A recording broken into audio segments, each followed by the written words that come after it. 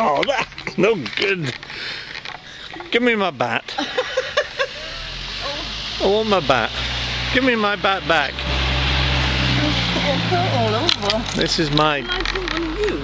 No, this is my. No, I'm not going on YouTube like that. Oh, you don't mind me though. No. this is my cricket bat guitar that I made, Corby Northant. It's probably the best one on the internet. As you can see, there is a miniature, little miniature um, cricket bat ball there. Plus, there's my dad's medals he won in the war, the Burma Star and the Africa Star. It's just simply a Slazenger bat that I've uh, cut into there. Look, put it together. Fender put Fender stickers on it like that, but it doesn't really. It's not a Fender. It, it's just to make it a little bit posher, I suppose. Straight neck, very straight neck.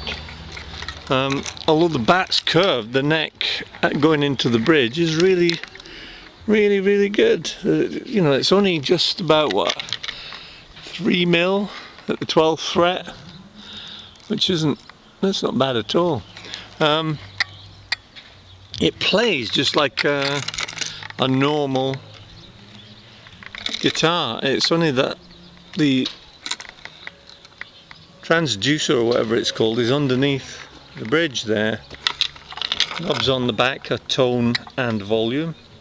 The background music's the gospel choir across the road getting ready for their Sunday thing. Um, cost about £100 to make. I quite like it. Oops, wait a minute. Um, I'll put it down there.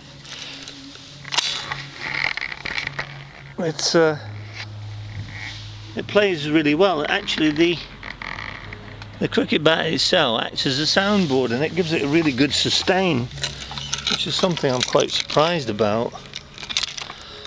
I didn't think it would play that well. It doesn't sound tinny. It's got quite a nice sound to it. But there you are. Tom Bingham's cricket bat guitar. The end.